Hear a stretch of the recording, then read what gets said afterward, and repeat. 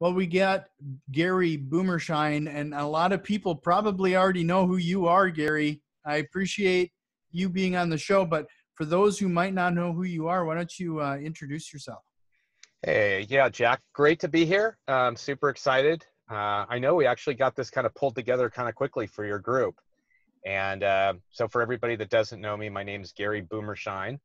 I am a uh, I, have I've actually got the I guess the term is called OG, mm-hmm. original gangster in real estate. If you've been through multiple cycles, I guess that's the term. Rafael Vargas actually told me that. I thought that was funny. Who's a big wholesaler uh, on the uh, out of out of Florida.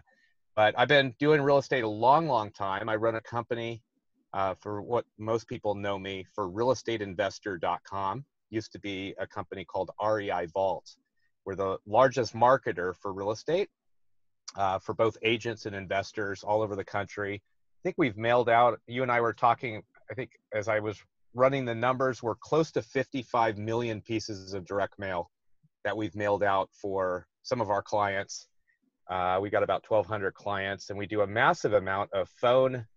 Uh, we call them sales ninjas, but it's as the leads come in, being able to actually do the qualifying screening and appointment setting and we've done mm-hmm. nearly three and a half million almost four million seller calls appointments and so uh, that's our, our primary business but i've been real estate investing since 2004 live in san francisco bay area and uh, and uh, been talking about the real estate cycles for long mm-hmm. long time real estate has been a seven year cycle and uh, we've this uh, for 100 years and this is the longest cycle and i've been talking about the the cycle change of what's coming for probably three years and now obviously we're in the middle of covid and here we are. And just for all the all, all your loyal listeners these are some of the biggest transitions in wealth ever. This is really the type of market that we're going into now that many of us investors have been looking for and uh, so buckle up your seatbelts. We're getting ready for an incredible, incredible opportunity for being in this particular real estate market right now and for the foreseeable future.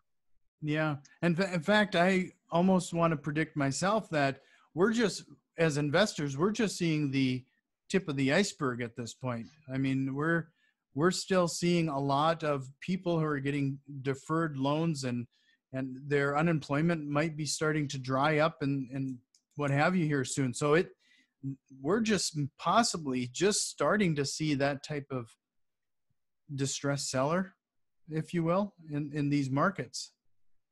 Yeah, I, I, I run a podcast. I was actually just sharing this uh, with our group uh, last week. You know, a tsunami is coming. Yeah. And what, what happens, it's almost like if you think of a huge tsunami, right, coming, people go out to the beach and the water is going out and there's fish you know all over the beach sand. And a lot of people like look down saying oh look at all the pretty fish on the sand. No a tsunami is coming and it's typically a, a, a period of time. So we're going to be seeing a massive number of foreclosures. We're going to see i've been my prediction and this is all based on market history is we're going to probably see an, an initial drop across the board for most markets. We're going to probably see a decrease in value uh, for a period of time and then probably massive, massive appreciation in mm-hmm. values. Why? Because they're printing money uh, in unprecedented amounts. The Federal Reserve, our fiat money system, we've never printed money. And so that becomes an, a hyperinflationary period. What that means is, you know, regular stuff that we're buying, like milk and eggs start to go up but the physical assets is really really where we want to be. And um, so we've been preparing. I think what we've been telling everybody this is the three p's right now. It's number mm-hmm. one is protect number two is pivot and number three is profit. And um, and i think that there's an incredible opportunity. A lot of us are doing what's called virtual wholesaling jack. Um, that's the market as i see it uh, especially on the single family side um, and there are still plenty of buyers. The market's super hot for that. Virtual wholesaling, a lot of people know what that is, but virtual just means we're able to do it remotely. Mm-hmm. Um, so a lot of us have adjusted our businesses, and those that are just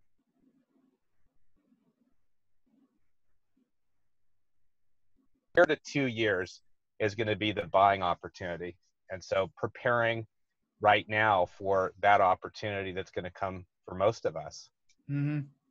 So let's let's go back to some of the things you've just said there. You know, the virtual wholesaling is is something that's always been uh, something that we've dabbled in but haven't really dived into. Um, can, can you talk a little bit like how how are some people uh, doing this virtual wholesaling? You know, it's especially for newer investors, wholesaling seems to be the low hanging fruit. You know, the concept of getting a property under contract and just selling paper. Um, and until they do it that first time, it seems like that's when the gateway drug happens, is when they finally get it. Like, oh, now it becomes possible and it becomes, you can possibly do it on a consistent basis. How do you do that with a virtual wholesale? Yeah, um, it's actually a lot easier than might people might think. Um, uh, the main difference, so most wholesaling, we're in a local market.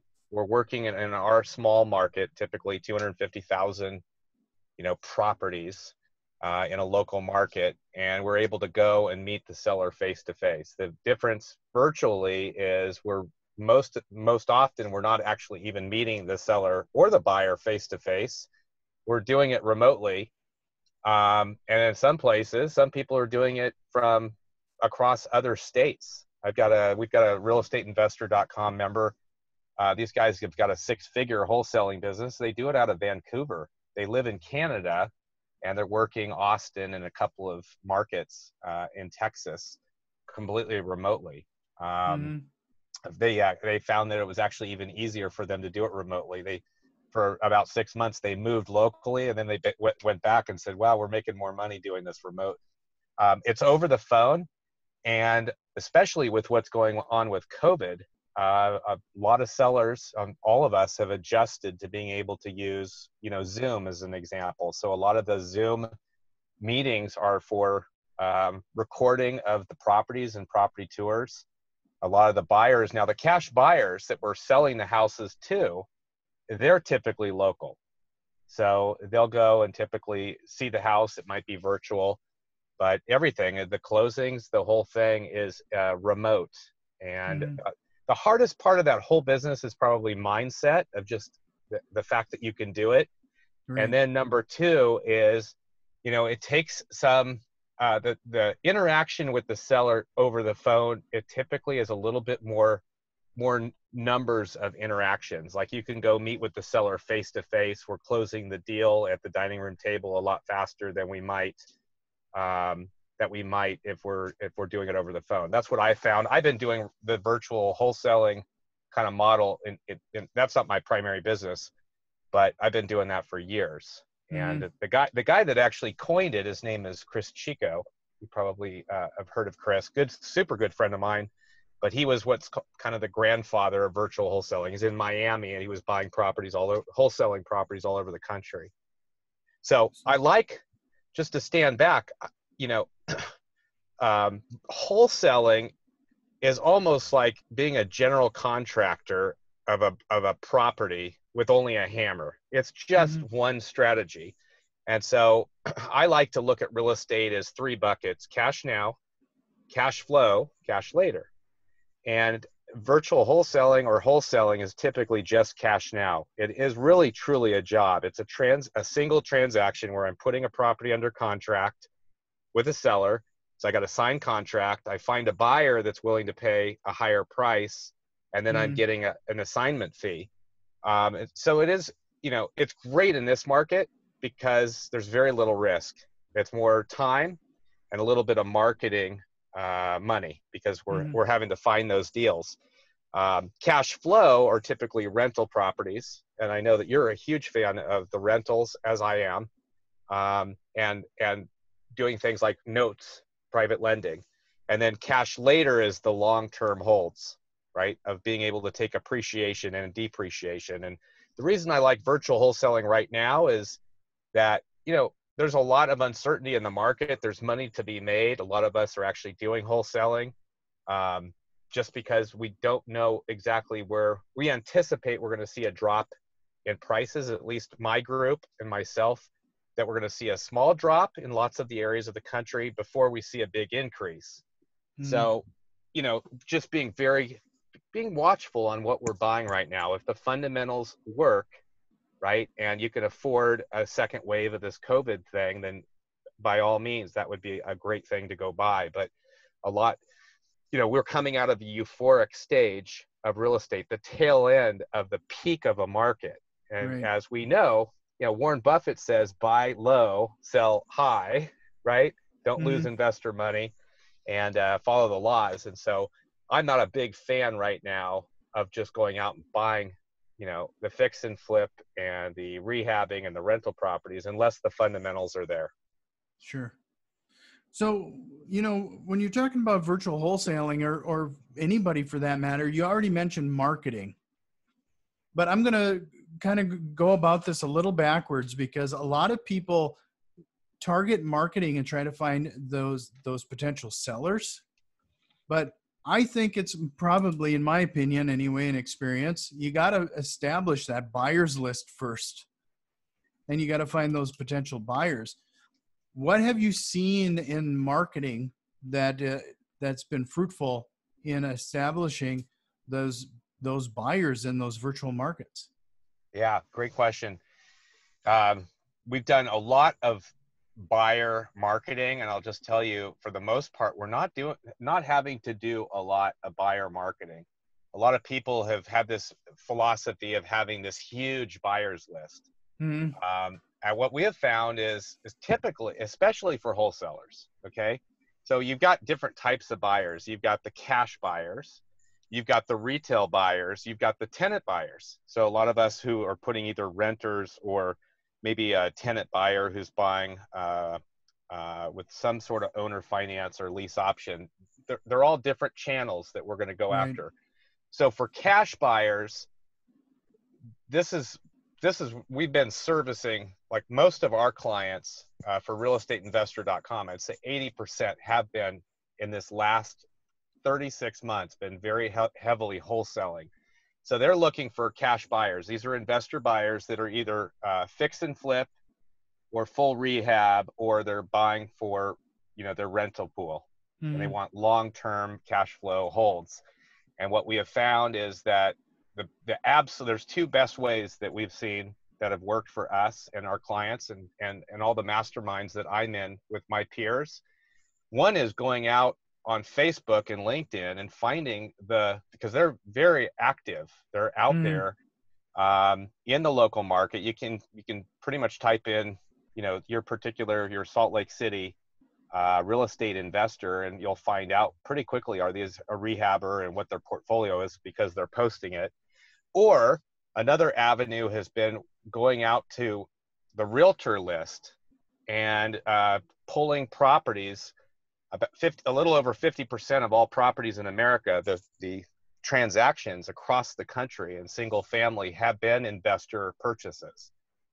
Um, with a large percentage of those listed on the MLS. So going out to those agents and interacting to say, hey, I noticed that you, Mr. Agent, um, were working with an investor. Is that investor looking for any more properties? Mm-hmm. I, I have a portfolio of properties and uh, I'm not sure if your your buyer is actually looking for more. And we've been finding fantastic uh, cash buyers going through the realtor pool. By the way, those realtors, those those cash buyers are typically paying a premium because they've been buying on the MLS, right? Uh, the multiple listing service on listed properties, and so that's been a great source for for us, from sure. what I've seen. Now pulling a cash buyers list, you know, you can actually hear there's a cash buyers list and you can text message them, you know, broadcast by sending a text message.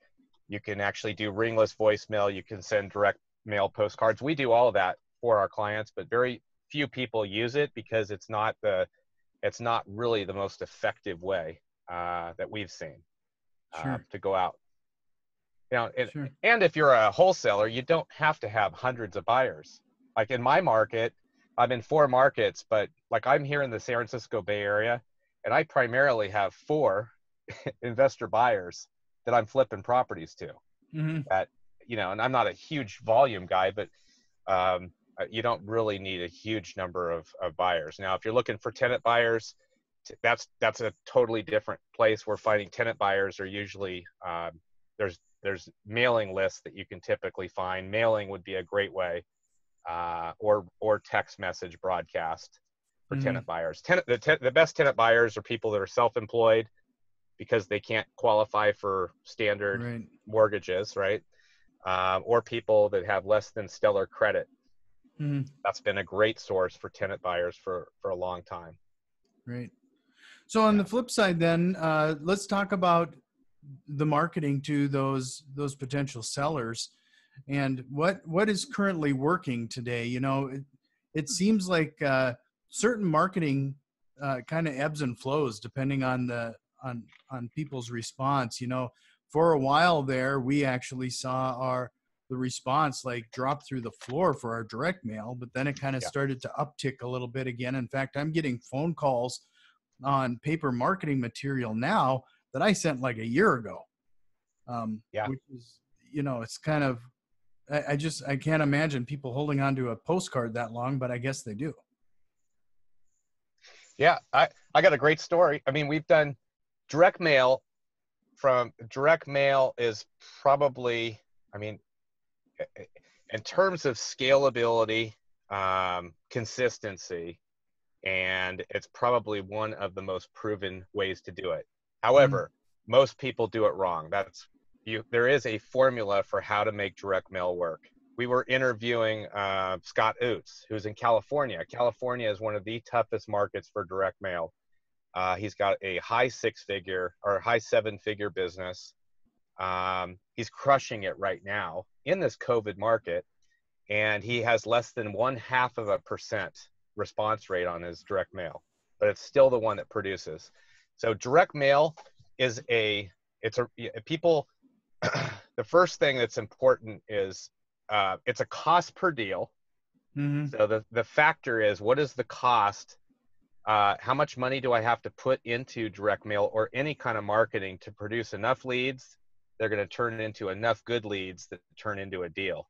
And knowing that formula, uh, Scott, as an example, averages seventy thousand dollars per deal, and he's spending in California forty two hundred bucks.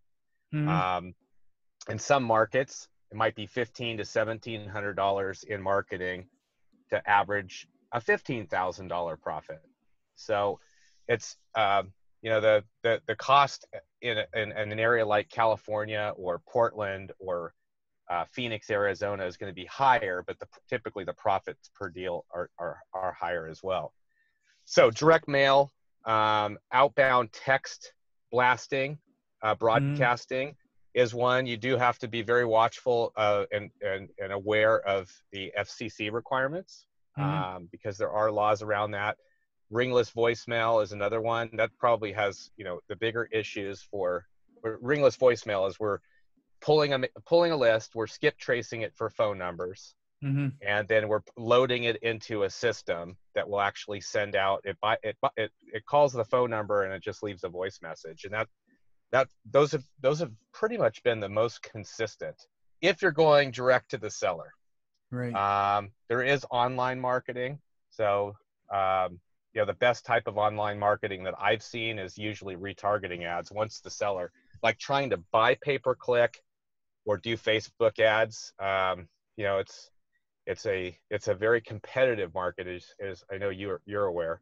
Yeah. Uh, we yeah. we love direct mail, actually direct mail, but there's a there's a way to get direct mail work. I can explain it to your people. Most the 97% do not come off of the initial phone call. Right. So 3% of the deals will actually come off of the initial call. Mm-hmm. 90% come after the sixth follow up. Right. Right. So follow up meaning, hey, the lead came in and you're you're continuing to follow up. Somebody's calling them. You're sending out a text message to them. You're sending out a, a, an email to them if you've got their email address. 90% come after and, and less than 10% of any investor or agent follow up more than twice. Right. So direct mail to make direct mail work, people people give up uh, way too early.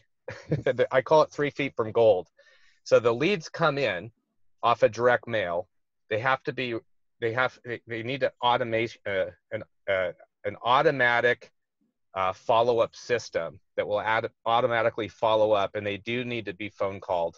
So you have to have a what we call an ISA, uh, an, uh, somebody that's on the phone dialing all day long to get the sellers back on the call. Mm-hmm. Right? Leads come in, they'll hang up.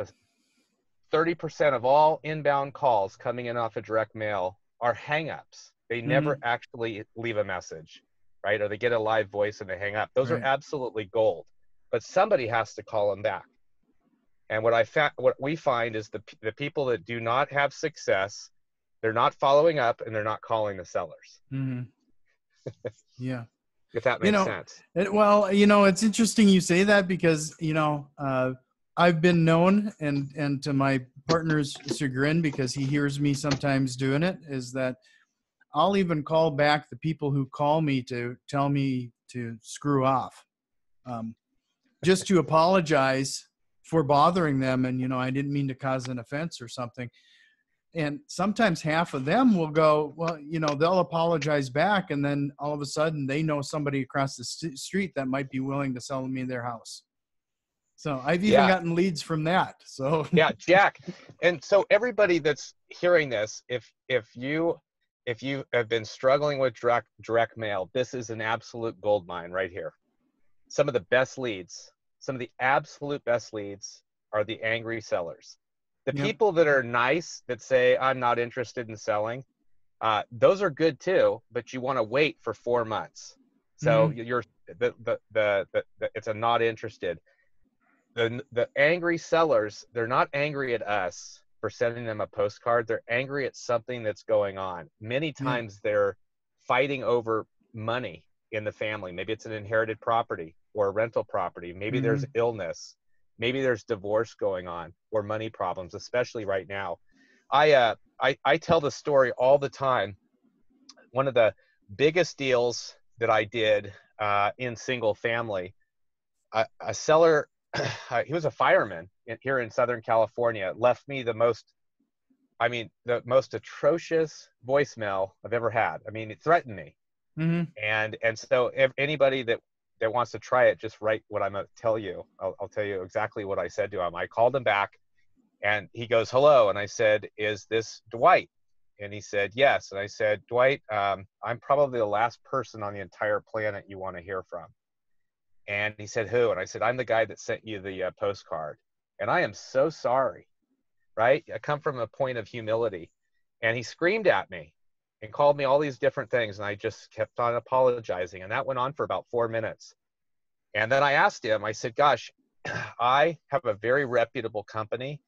And I thought you were somebody that uh, might be interested. And I don't know you and you don't know me. How would you have recommended that I introduce myself to you? Should I have actually waited for you to pick up the paper outside?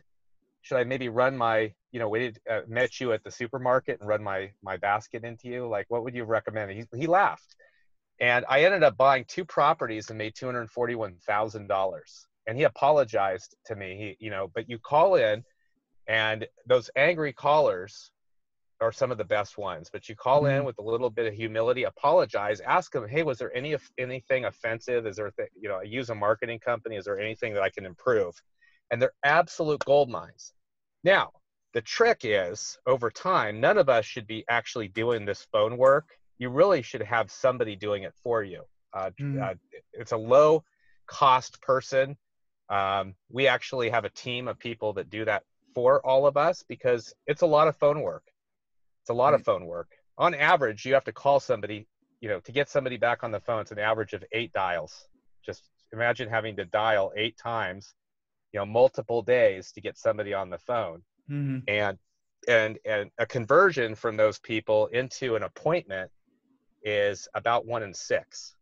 So you that's 70 phone calls, 70 times dialing the phone to get an appointment and and most people are not willing to do sit there and dial 70 times mm. it's the most profitable part of our business somebody has to do it though so you know like what did they go through you know let's say they do get a person on the line is there a kind of a vetting process to see if they're an actual good fit for the potential investor yeah uh, we um, and I would be happy to give this to you for the show notes. We um, we have what we call our sales ninja script, and Mhm. what happened was I brought probably some. I, I brought about 15 of our top clients uh, about four years ago. These are guys like uh, Clay Manship, who's got a multi-million dollar wholesale. Yeah, we know Clay. Yeah. Yeah. So Clay came in, Steve Carlson, and we and these are guys that are experts at sales. And I said, guys, let's build the absolute perfect words to the seller. Uh, the right words with the icebreaker. It's about a six minute interview. So exactly that we could train anybody. Mhm. And so I and then and then I actually built a sales ninja team. It's a team. Uh, we have about 40 people that they do this all day long. We record all the calls um, in the states that we can, re- can record, but it's a script that's about six minutes. It starts with, gosh, you know, let's say somebody called on a hang up. The, the words are, hey, uh, we missed a call from you. Were you calling about a property uh, note that you received in the mail or pop, prop, possibly a, a property that you're considering to sell. And, and there's four answers yes, no, maybe, or possible referral.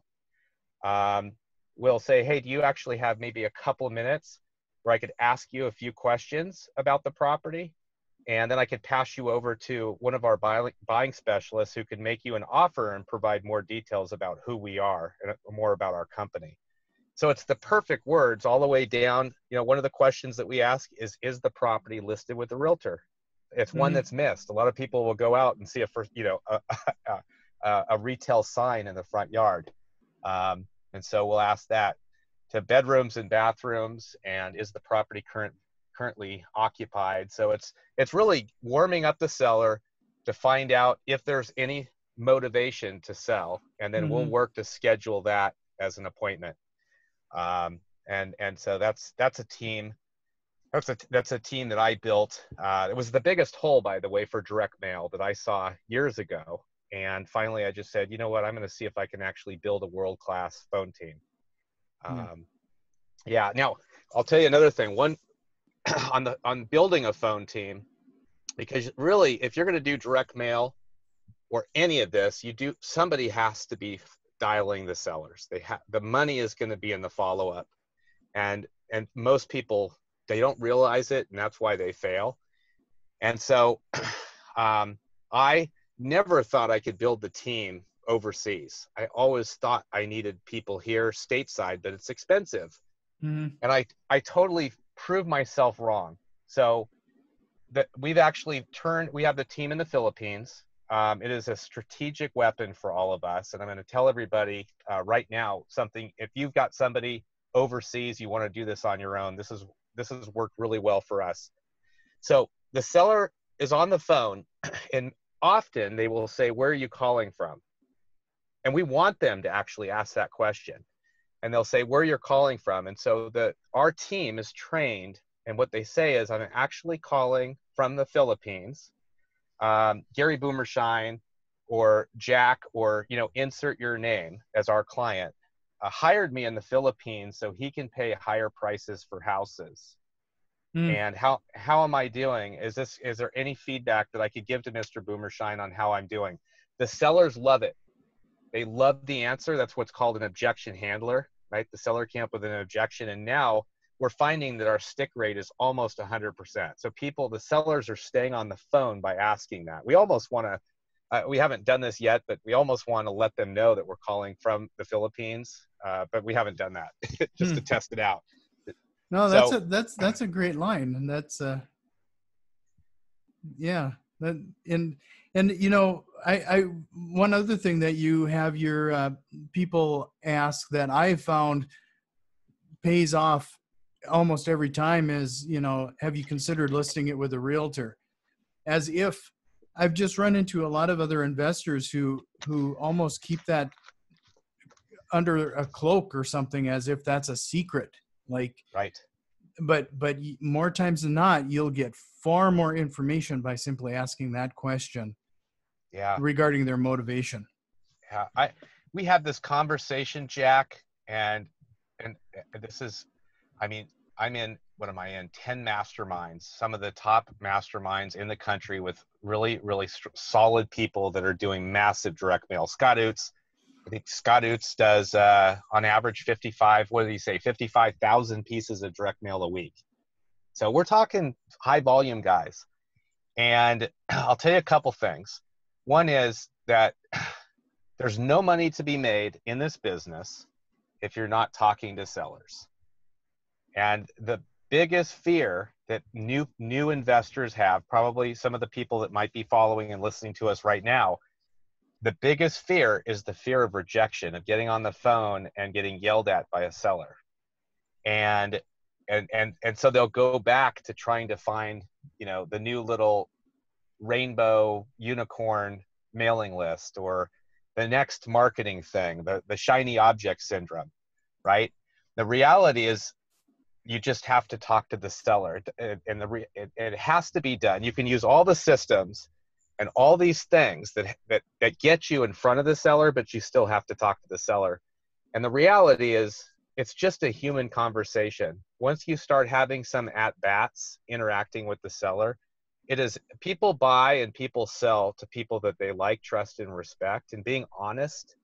And uh, you know, I was coaching uh, Tyler in Dallas, and uh, super, super amazing guy. And you know, he, he he was nervous originally talking to sellers. So I just said, just tell him who you are. You know, the fact he's he, he actually was a pilot when he was like 14 years old. He had a pilot's license before mm-hmm. he actually was driving a car and I said, tell tell the sellers that. Tell them who you are.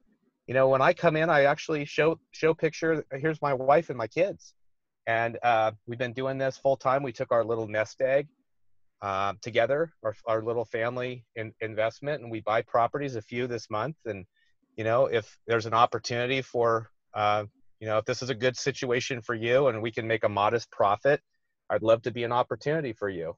Uh, but, and I love the you know I'll, I'll say have you thought about listing it with a with an agent here's the thing there's so many benefits to what we offer as investors i know you know that jack but mm-hmm. for everybody else there's so many things a lot of people don't want the hassle of waiting and mm-hmm. having people holding open houses and having people trample through their stuff or having to do the repairs and so um, you know i buy i buy properties with bad tenants i know you probably do too I love mm-hmm. buying. I love. I love buying problems. I had uh, three sisters, older sisters, who had an estranged son, who had been living in this property uh, uh, in Oakland, California, for eight years, rent free, no electricity. They turned the electricity off. He was still living. They couldn't get him out. And I, I said to the three sisters, "How would you like it if I bought the property and I'll take I'll take him as a renter?" he doesn't even have to pay rent. I'll take care of him. And um, and they were so happy. They were in their late 70s, and they said they uh, they were super super happy. Um, and so we we buy you know as long as we can find the problem, right, of what the seller's problem, and we mm-hmm. can come up with a solution. It's you know we we exchange you know a discount on our property for problems all all the time, right? Yeah. No, it's funny that we I almost have that exact same story. We had we had a family who just had they couldn't they didn't have it in their heart to evict them, so they sold us the property and then we went through the eviction process instead. Yeah. We ended up being the bad guy for it, you know, so yeah. they didn't have to be. Yeah.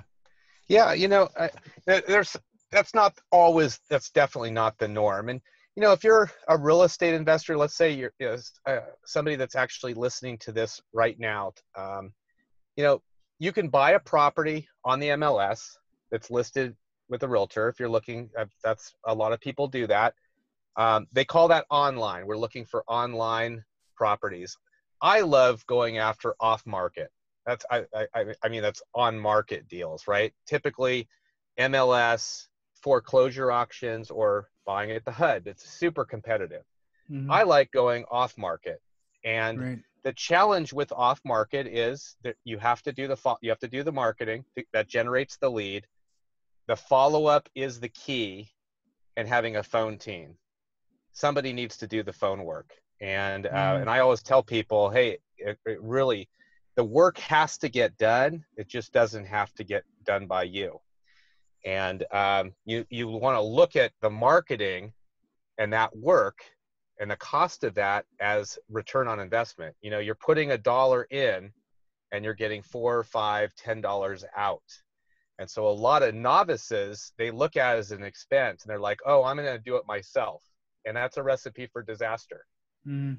So it's it's you know, I would say if if you're if you're if you're if you're uh, in this business as a real estate investor, uh, it's going to do multiple transactions a year or a month.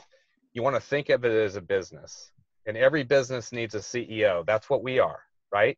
A CEO, and probably the money making activities, the thousand to ten thousand dollar an hour work, is talking and closing sellers. And if you're doing ten dollar an hour work as a CEO, you're going to have a ten dollar bank account. Mm-hmm. It's so you want to the marketing the follow up should be automated, done by somebody else. The phone dialing should be done by somebody else. Those are those are ten dollar an hour or less activities, and it shouldn't be us. Right. And I'm I sure you've that. done a. Mm-hmm. You, I'm sure you've done a comparison too, because you know there are some. There's a lot of CRMs out there now that uh, do the stealth voicemail, for example. So uh, yep.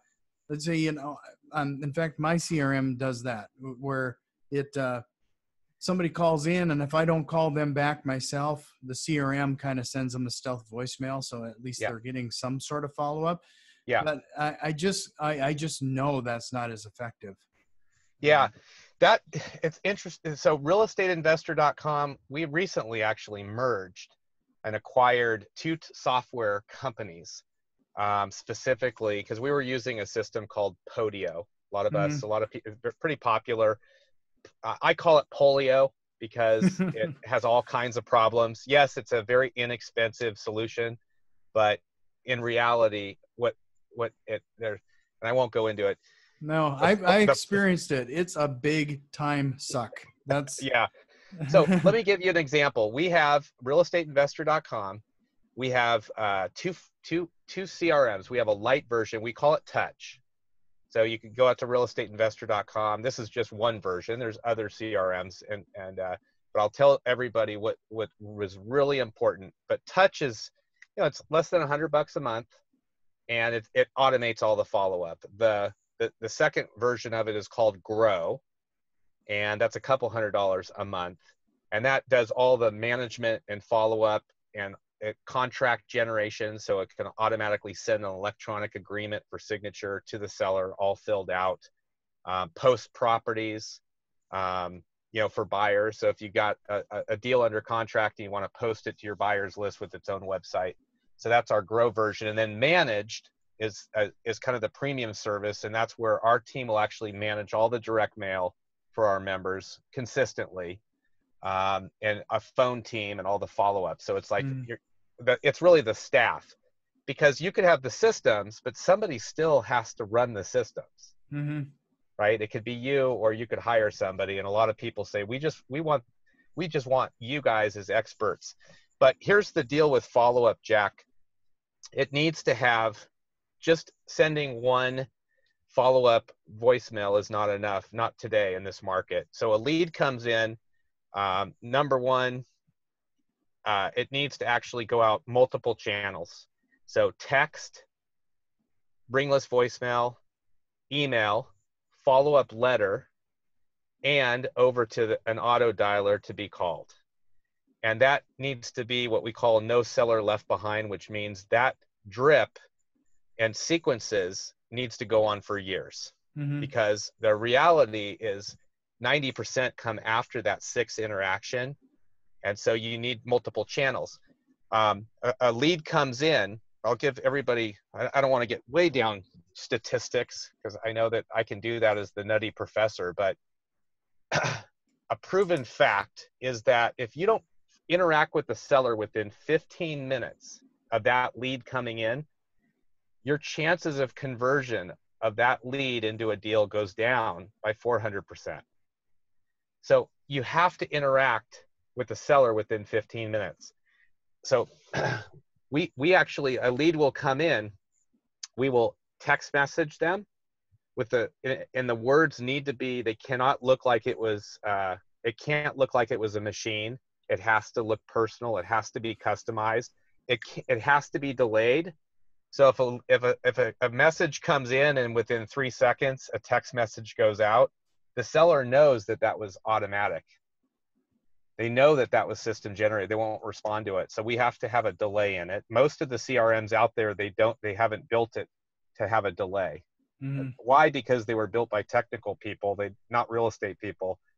Um, it needs to go to a phone team with the right script so that it, so that they get back on the phone and and then the type of lead that comes in the type of lead um, of where it came in from needs to have a different sequence. So if a seller comes in and says they're not interested, you're not going to want to text them immediately, right? You're going to want it to be delayed for three to four months. And then slowly the follow up starts. If mm-hmm. somebody comes in and it was a hang up, you want to be quick, but you want the message to be very specific to a hang up. Hey, we missed a call from you. What was the what was the address of the property you wanted to sell? and then it needs to have you know your name or or, or somebody's name and a local phone number on there um, typically it also needs to be from the same the phone number needs to be the same number that they called in off of most crms don't do that um, so mm-hmm. that's why we that's why we built our own um, a lot of crms you have to have you also have to you know you have to have your own call system like CallRail or freedom voice and you got to set up all these different Slybroadcast, and we we wanted it all in one package. Right. Um, and then and then the other thing, these CRMs, you you have they'll support the follow up, but you have to write all the scripts. And so I've yet to find anybody that uses another CRM that has written a script. Why? Mm-hmm. Because it, you know, most of us are real estate guys. We're not technical guys. Right. And so what, what we did is we actually, in our system for realestateinvestor.com, we actually wrote all the scripts. We came together and said, what are the perfect words and what's the order? What's the sequence? You know, is, does it need to go out every day? Does it need to go out every three days? What's the best time of the day to actually interact and, and send the uh, send the, the, the response back? And that's mm. all pre-built. So, boy, I could just go on and on and on here. So, um, so with with what you were just saying there, when you when they're doing a marketing list, do you basically skip trace everybody that whole list basically loaded into your CRM so you have that that contact information preloaded if you will so that when they do call in you already know who they are and you can have that personalization? Yeah, it's a really great question. The answer is no. So if you're sending out direct mail, it is not cost uh, it's cost prohibitive to try to actually skip trace the phone number. Why? To skip trace the phone number correctly to uh, is is not a half a penny. It's usually to get the right data. Like we actually we have skip tracing available in our service. It is uh, it, it's it's it's about the most cost effective that you can get. We've negotiated a monster deal. It's it's from a company where IDI uh, sure. actually yeah. goes to, and I know you're familiar with them. Um, so, yeah, you do not need to do that. Plus, you know, if you're sending out a thousand postcards, you're only going to get a response off of a uh, off of a certain percentage. So to buy the whole phone list for just for the for the for the small percentage, the two the, the one to two to three percent that are going to come back off of mm-hmm. the direct mail um, is not cost. It's not it's not effective. Now, if you're gonna if you're going to do it right and you buy the mailing list and then you data stack it to get the vacants the vacants that you'll want to pull and those would be good for text messaging right so you mm-hmm. direct mail you can do a larger group and then you might take a percentage of that and skip, skip trace those for doing text message broadcasting and ringless voicemail or cold calling so the list can actually be reused but actually you know it, it really depends on what the purpose is, if that makes sense. Yeah. Um, no. Now I'll, I'll give you another little uh, thing that has been incredibly effective off of all the direct mail. The return postcards that we get, um, about four to five percent is the national average of, of postcards that will come back in the mail mm. returned. And what we have found is there's a percentage of the w- ones that are returned that will say vacant. They'll say uh, deceased, undeliverable. Those are absolute gold mine to skip trace. So you send out a thousand postcards, you get 40 or 50 back. Of the 40 to 50 that you get back from the thousand mailed, you're probably going to have 15 that those should be skip traced and given to somebody to be called. Those are gold. Hmm. That's, That's, the reason that, and the reason they're gold is the competitors are not doing this. Right. The harder it, the harder it is to, to locate a seller, and no, and you have less you have less competition. The, the the the better the results. Sure. So, do you have you know now I'm going to show some interest in your in your CRM here now. Um, do you have a way for you know if somebody was entrenched in Podio or something else right now? Is there an easy way to migrate to a to your solution? Yeah, we built, um, we actually have a migration path where our team, as part of the process, will migrate people from Podio over to our system. We do that. Uh, in fact, we had all of our former clients, we built Podio. Um, we were the largest client, by the way. Our company was the largest client of Podio. Um, uh, in fact, when there were performance problems, that you probably experienced, they were coming from us. We pretty much broke the system, and that's one of the reasons why we decided to move away from Podio. Um, but yes, there's a migration path of how we can take the leads and the deals and all that data and migrate it over into uh, our system. There, there were other things with Podio. Um, you know, just the the user experience is terrible right? It's just like one mm-hmm. long list. It's very hard to to, to train a staff uh, to use it. So as there were other limitations. So when you log into our system, we have all the list data loaded in ours as well. So when a lead comes in, right, from a postcard or maybe a carrot website or maybe uh, whatever the marketing is, a lead comes in, the very first thing we do is we will match up and find, hey, do we know the list that it came from? That's absolutely gold. So mm. most of the Podio systems and other CRMs do not do that. The second thing that we do is we socially profile uh, to see if there's a Facebook, uh, if that if that person has an email address, a Facebook, a LinkedIn, a Twitter, and we're able to pull that data automatically, instantaneously back because that gives us the capability of interacting and possibly you know reaching out to them in, with other channels. And then the follow-up automatically kicks off depending upon the type of lead the follow-up sequence. Uh, and then if they're using our phone team our sales ninja phone team then they'll be called as well forever mm-hmm. to turn it into a qualified appointment so so following them up on those social media links have you gotten or seen any pushback from from people i mean there's been some issues, you know, regarding people being concerned with their privacy and and this and that. Like, have have you found anybody being creeped yeah, out by being reached out to them through? No, uh, where where we've seen the issues is when you're actually broadcasting. There are, you know, like if you're broadcasting to a cold list, that's typically where the issues are. If somebody comes in as an inbound lead, we haven't seen that. In fact, um, an incredible thing, and I'd recommend this to anybody that's buying properties right now and you're already doing this, is every deal that you close with a seller, get a short testimonial, a quick two to three minute video or shorter, right off of your cell phone with the seller. And, and we're having our clients put those met those video links right back into the follow up. So as the lead comes in, it's something to put back out to the seller. Hey, we just closed uh, uh, uh, thought this might be relevant. You know, we just closed another property, and if you know somebody, if you're thinking of selling or you know somebody, we'd love to we'd love to talk to uh, you or a, a, referral. And then you put the link of the video testimonial.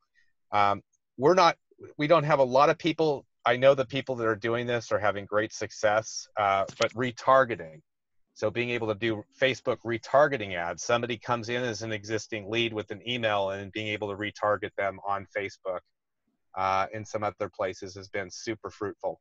Hmm.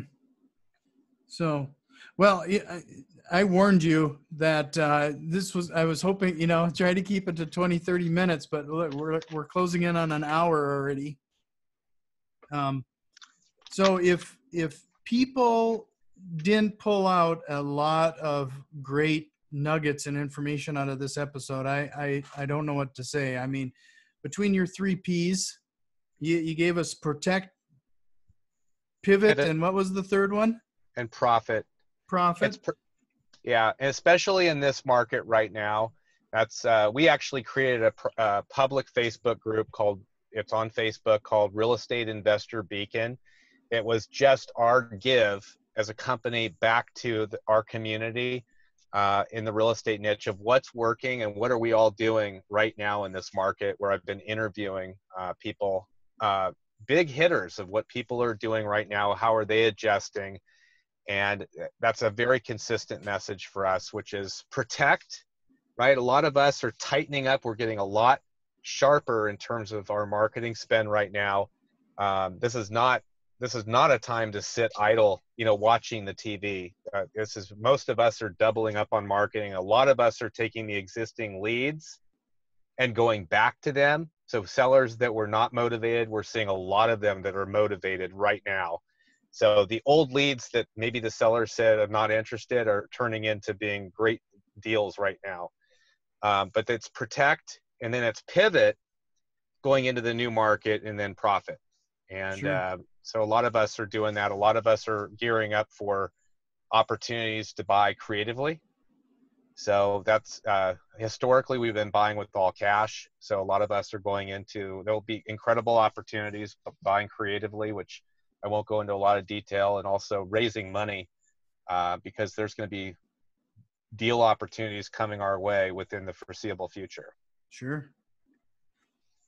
No money without talking to the sellers. And I'll, in fact, you mentioned when uh, uh, people sometimes are afraid to make those phone calls.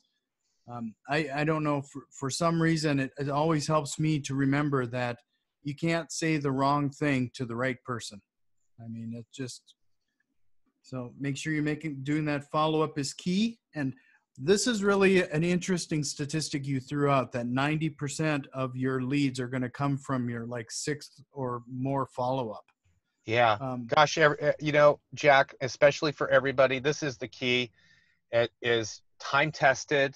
This is not just something new, and it's not just real estate. This is a proven fact on doing direct response marketing, which is direct mail or any of these sources. So, 3%, 3% of the profits come from the initial call. So, if people are wondering why they're not imagine 97 you take whatever you've made that's only 3% of the potential off of your existing lead pool the money is all in the follow-up and and and including the phone follow-up it is extremely profitable 90% of the deals and the profits come after the six interaction and less than 10% of anybody in this business actually follow up more than twice so all the profit is after number six follow-up um, and and and the other piece is repetitive marketing. It has to be consistent. So people, if they're going to do it, don't just do it for a week or two or a month. You want to be committed to it. Marketing is a process. Um, I'll tell you a couple other things. just it's time tested on average. On average, off of direct mail. And by the way, all these lead sources, direct mail, text messaging, any direct response, it's an average of 45 leads produce a deal. All right. Some lists will be as low as 20, but on Mhm. average, over the long haul, 45 leads produce a deal. 45 will be about 15, one third of the 45, 15 will be what we call good leads. The rest of them are not ready. Uh, about half of those we will t- typically make offers to to close one. And that's a national average. So people will get 10 leads and they'll say, why didn't I make any money? This this direct mail doesn't work in my market. It's too competitive. No, it's actually it's a numbers game. And then we're we're continuously working all of the old leads forever. Uh, it because cost- your key there was that you just said they weren't ready. they weren't ready. You just Right. got to hit them when they're right. That's right. yeah. the mindset of anybody doing this should be that all leads suck until you talk to the seller, mm-hmm. right? They don't just come in motivated. What we're looking for is a reasonable seller, and they get more and more motivated. Not all sellers are ready yet, and so you have to interact with them. And um, it's it's it's the psychology, just thinking, just like a buying a car. People that will go to the dealership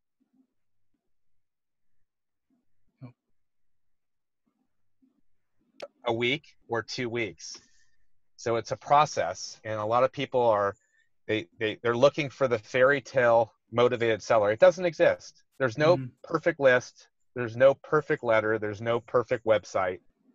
It's a process, and right. the people the people that are doing it right are making tons of money off of it.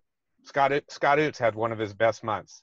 Uh, you know, he's and he's doubling up. We just inter- he he's actually uh, real estate investor beacon. He we just interviewed him. Uh, sure. He, so that was that would be a good one for people to listen to. He's a you know he's a high seven figure guy in one of the most competitive markets in the country. So, well, and then you you threw out one last uh, a staggering statistic that you need to contact or or reach back out to these people within 15 minutes or their interest drops 400 percent. That is if that doesn't get you back on the phones, I don't know what does. Yeah. So, yeah. So at the very, at, yeah. Yeah. What were you going to say? At the very least, what? Oh, at the very least, it's the text message, a text message, or, you know, it, it also typically 4 to 5 p.m. 4 to 5 p.m. is the best time Wednesdays and Thursdays to call back, uh, is what we have hmm. found. The problem is most of us are busy right? Mm-hmm. So that's another reason why you want to have a system to automate the follow up and you want a phone team that's built in to do it for us. So, well, I'm going to end with one last question. Was there a question you wish, wished I would have asked you here tonight? Is this a good time to be in the real estate investor niche? Would be probably the number one question. And this is the type of market that we're going into right now that real estate investors dream of. And so um, I, this is an incredible, incredible market that we're about ready to go into. Um, I, I, you know, with with with a situation like this, you know, we want to buy low and sell high. The the market, the, the money, the primary amount of money was made at the beginning of the cycle, 2008 to 2012 right? Then we get into the back end which is a euphoric stage where everybody's talking real estate. So mm. we're now going back into the reset of the market. And i would say people that are sitting on the sidelines. It's it's uh, we're going to see a lot of people exit.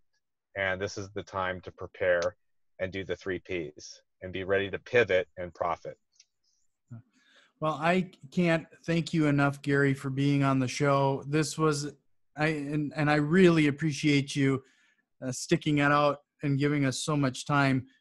If uh, people were interested in following up with you or finding your podcast, I know you. I don't think you could have an easier domain name to remember. realestateinvestor.com. I mean, man, what a what a great domain name. Um, where else would they find you?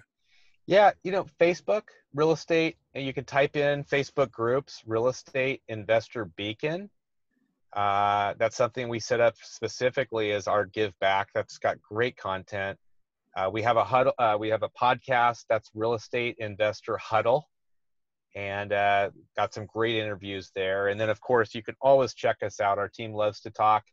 Uh, you won't find a, a salesy approach. It's very much, I've got an organization with about 110 people working for us. And, you know, we love helping other investors, other like-minded investors. And if we can help, uh, we've got a lot of articles, ton of articles of, uh, and, and inform, you know, helpful tips. If you're trying to do stuff on your own, we've got a lot of free resources out there. So take advantage of all that. And, um, and if we can ever help you out, let us know. Well, I, I, again, really appreciate your time. It was great chatting with you, and I hope we can do it again sometime. Yeah, awesome, Jack, and everybody. Have a great one.